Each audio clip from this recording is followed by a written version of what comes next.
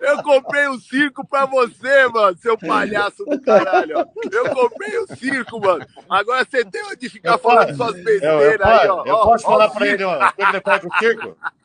Ele falou que era favas contadas, jogo fácil, que o Zubeldia ia quebrar o recorde da, da invencibilidade. Falou que era mais fácil ver vaca voando em Dayatuba do que o Cuiabá ganhar. E aí, Serdão, olha lá.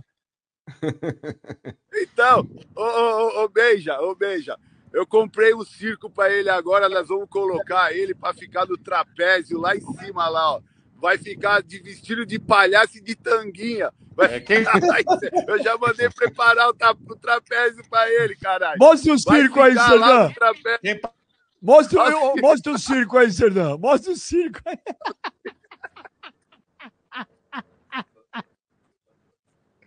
ah, meu Deus do céu. Mas, Serdão, você comprou o circo só por causa do velho?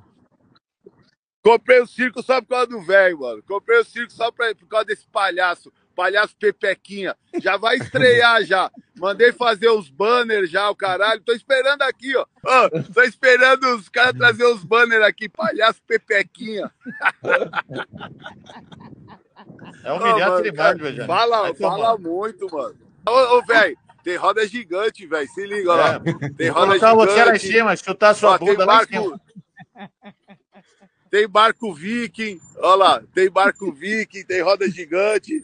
É, eu só podia entrar rapidinho, porque eu tô esperando os caras virem com os banners que eu vou arrumar a produção lá dentro, lá, entendeu? Aí eu, depois eu entro de novo para você ver como é que ficou, entendeu? Ó, eu vou cuidar direitinho para você, eu vou fazer a produção direitinho para você, caralho. Fica tranquilo, velho.